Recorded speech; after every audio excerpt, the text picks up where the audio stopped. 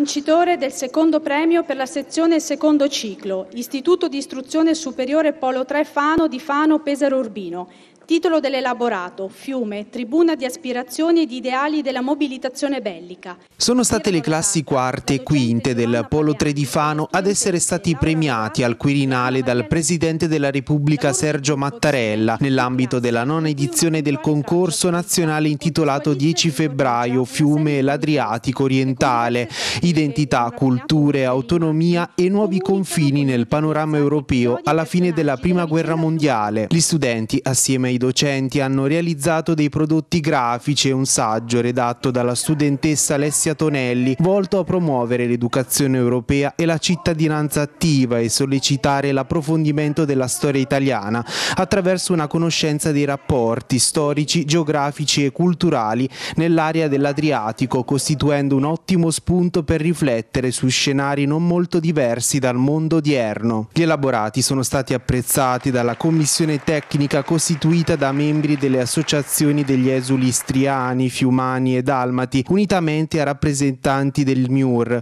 conferendo il secondo premio del concorso ai giovani studenti fanesi. Il progetto ovviamente è eh, solo uno strumento, è il momento culminante di un'attività didattica che sarebbe comunque stata svolta in classe perché ovviamente la questione fiumana e, e, e il giorno del ricordo è una cosa che ovviamente avremmo celebrato comunque. Poi abbiamo colto al volo la possibilità di partecipare partecipare a questo progetto ministeriale e quello che ci ha sorpreso non è solo aver vinto, ma aver vinto eh, in tutte e due le sezioni, cioè non solo in quella grafica, ma anche quella eh, che prevedeva la stesura di un saggio. Il saggio, ispirato ad approfondire e comprendere l'identità e la vocazione di Fiume, una città multiculturale, luogo di sperimentazione politica, è stato fonte anche per i manifesti grafici ideati e prodotti dagli studenti che attraverso l'arte della comunicazione hanno tradotto le parole in immagini. Da quale spunto è stato realizzato questo manifesto?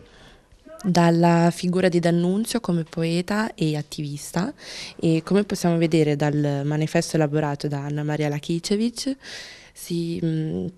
si può vedere eh, due primi piani di D'Annunzio, uno in veste politica e uno in veste poetica per poter um, avere una coesione per l'impresa di fiume. Comunque per noi essere al Quirinale è stato un grande, un grande evento